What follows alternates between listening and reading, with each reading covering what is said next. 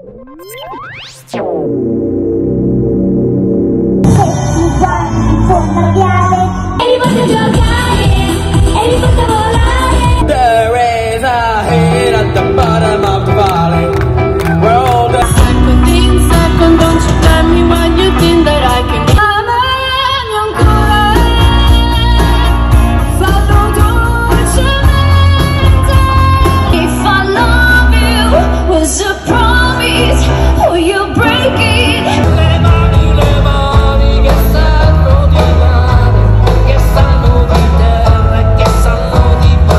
polvere dai miei pensieri e quanti misteri con pochi poteri che la mia condizione mi dà.